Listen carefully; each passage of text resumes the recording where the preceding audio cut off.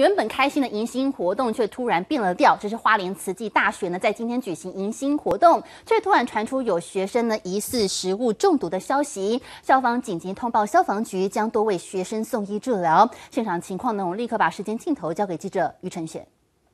是主播慈济大学传播学系今天举办大一的迎新活动，总共两天一夜的宿营行程，却传出有多名学生食物中毒。消防紧急通知消防局，派出多辆救护车将学生送往慈济医院就医。带你来看一下医院的现场状况。